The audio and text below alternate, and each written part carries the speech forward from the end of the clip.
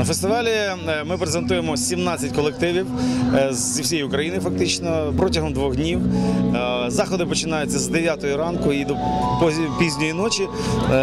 На території фестивального містечка, так званого, буде купа різних заходів. Буде наметове містечко, тобто для тих людей, які ну не, можуть собі дозволити там зняти готель, можуть приїхати і пару днів потусити на березі Південного Буга.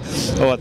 Ну і саме головне, як на мене, музиканта, це дуже класний, потужний апарат, дуже класна сцена.